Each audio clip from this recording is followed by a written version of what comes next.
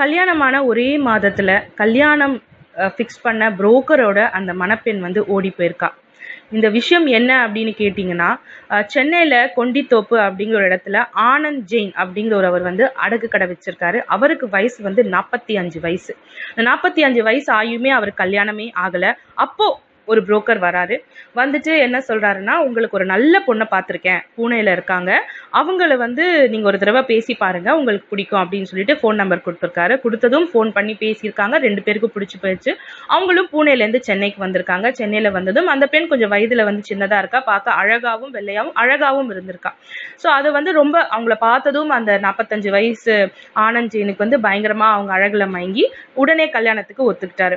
ஒத்துக்கிட்டு ஒரு மாதம் தான் ஆயிருக்கு. ஒத்துட்டு ஒரு மாதம் ஆனதும் ஆனந்த் ஜெயினோட பீரோல இருக்கிற அஞ்சு லட்சம் ரூபாய் பணமும் சில நகைகளும் ஏன்னா அவர் அடகு கடை வச்சிருந்ததால நகைகள் கண்டிப்பா இருக்கும். சில சில நகைகளும் எடுத்துட்டு அந்த புரோக்கரும் அந்த மணப்பெண்ணும் ஓடி போயிருக்காங்க. இதுல ரொம்ப முக்கியமான விஷயம் அப்படின்னு பாத்தீங்கன்னா அந்த புரோக்கர் வந்துட்டு ஆண் கிடையாது பெண். அவங்க பேர் வந்து என்ன சொல்றாங்க அப்படின்னா ஜெய்ஸ்ரீ அப்படிங்கிற ஒருத்தவங்க.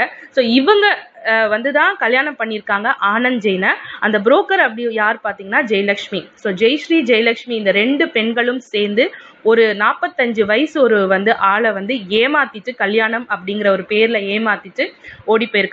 ஸோ இப்போ அவங்கள வந்து அவர் வந்து போலீஸ் கம்ப்ளைண்ட் கொடுத்துருக்காரு. அவங்களுக்கான தேடுதல் வேட்டை நடந்துட்டு இருக்கு ஸோ எப்பவுமே ஒரு கல்யாணம் அப்படிங்கிற விஷயத்துல வந்துட்டு ஒரு அழகு அப்படிங்கறத தாண்டி அவங்களோட குடும்பத்தோட நெ- குடும்பம் எப்படிப்பட்டது எங்கேருந்து வராங்க அப்படிங்கிற ஒரு பூர்வீக பூர்வீகத்தை வந்து விசாரிக்கணும்.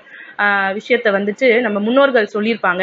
ஸோ அதுக்கான ஒரு உதாரணமாக தான் இந்த ஜெயின் வந்து ஏமாந்ததுக்கான ரீசன் ஏன்னா அந்த பொண்ணோட அழகில் மட்டுமே மயங்கி அவர் ஒரு அஞ்சு லட்சம் ரூபாய் கேஷும் அப்புறம் நிறைய நகைகளும் வந்து இப்போ பறி கொடுத்துட்டு இருக்காரு. இதுக்கான காரணம் ஒரு பெண் அப்படின்னு நினைக்கும் போது உண்மையிலேயே ஒரு அதிர்ச்சியான விஷயமா தான் இருக்கு. ஸோ அடுத்து நீங்க ஏதாவது ஒரு கல்யாணம் வீட்டுக்கு போகும்போதோ இல்லை உங்களுக்கு ஏதாவது மாப்பிள்ளையோ பெண் பார்க்கும்போதோ கொஞ்சம் கவனமா வந்து அதை விசாரிச்சுட்டு அதுக்கப்புறம் வந்து கல்யாணம் பண்ணுங்க. ஸோ இந்த மாதிரியான விஷயங்கள் நிறைய பேர் வந்து கல்யாணத்தில் வந்து ஏமாந்துருப்பாங்க மோச போயிருப்பாங்க. ஸோ அந்த மாதிரியான விஷயங்கள் ஏதாச்சும் இருந்தாலும் கமெண்ட் பண்ணுங்க.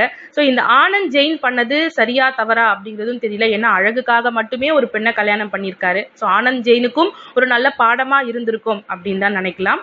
தமிழ் பக்கெட் சேனலை லைக் பண்ணுங்க ஷேர் பண்ணுங்க கமெண்ட் பண்ணுங்க. எங்களோட செய்தி உங்களுக்கு உடனுக்குடன் வரணும் அப்படின்னு நீங்க நினைச்சீங்கன்னா பெல் பட்டனை ப்ரெஸ் பண்ணுங்க.